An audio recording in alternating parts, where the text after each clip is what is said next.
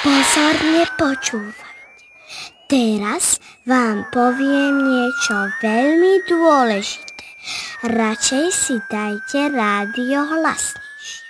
A teraz to príde. Nadácia Kvapka nádeje pomáha chorým deťom vrátiť sa k vystrájaniu. A ďalšie na našu pomoc čakajú. Pošlite prázdnu SMS správu na číslo 830. Ďakujeme. Ďakujeme.